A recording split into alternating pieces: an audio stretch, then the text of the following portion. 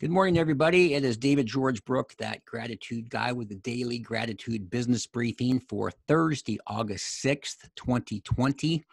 And in an effort to continue to bring you aspects of the business world where gratitude is a factor and can help and enhance your approach to people you deal with, uh, members of your management team, people, your employees, your associates, whatever it might be, anything that can help. So for today, I have a dozen quick things, and I call these uh, that gratitude guy success reminders. And certainly, gratitude is always woven in on many things, and showing your appreciation for people that you work with and that work above or below you in the in the chain of command, if you will. Uh, number one, when you meet with people, have a pad of paper and take notes. I'm always fascinated how many people I meet with. Now it's more Zoom, but even so, that I'm writing, I'm writing all these things down, and they're not writing anything, and I kind of wonder how they remember anything.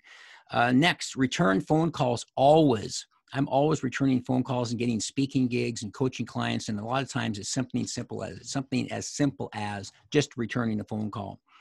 When someone says, I've got a book you should read, buy it and read it. It could change your life. I can't tell you how many times I'm, I get recommended books all the time, and I'm amazed how many they were exactly right. It was a great book. Find a mentor, find someone that is doing what you want to do and have them coach you or do what they do. That's generally the best way is find somebody that's that's getting the results you want, follow them and do what they do. Keep busy, fill your plate. It will keep you focused. Always have a lot of things going on. Get organized. Find a system that works. I don't care what the system is. I used to say just get one. Make sure you're getting organized.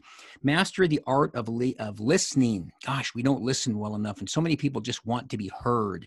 And I tell people, especially the phrase, tell me more the three great words tell me more or and then what two great three word phrases that'll keep people telling you more instead of jumping on their conversations remember names it'll always pay dividends i mentioned the other day about how to remember names monitor your self-talk daily what you say will direct your path i tell people i'm very good with names they go i'm terrible with names and i go you keep saying that you'll be terrible with names Maintain an attitude of gratitude. That mindset will determine your life's path. I don't have to say much more about that. It's all about focusing on what you have versus what you don't have. Gratitude turns what you have into enough.